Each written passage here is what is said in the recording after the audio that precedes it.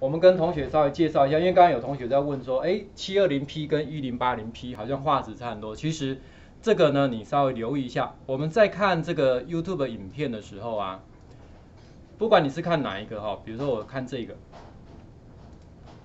第一次进来的时候，你会发现，哎，好像画质好像有点不是很好，有没有？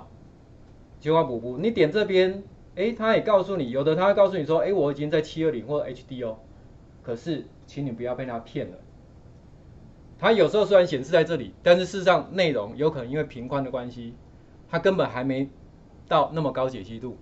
所以如果说你一定要看高画质的，麻烦你手动告诉他我要一零八零 P 的。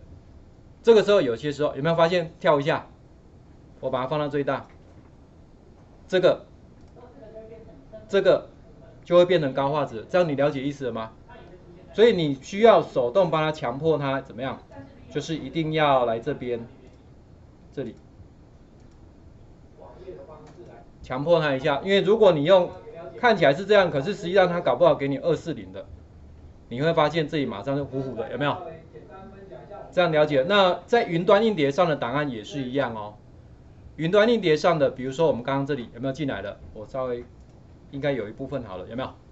你点开，刚开始。像这这一段应该没有高，还没有高画质的，有没有只有三六零？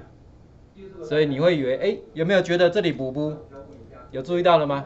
齐云补补，好，那这个是因为它还没转好。但是你注意，就算它转好了，它也通常先给你低品质的，所以你就自己来这边重新选择高画质，手动设定一下，这样就 OK 了。这样了解？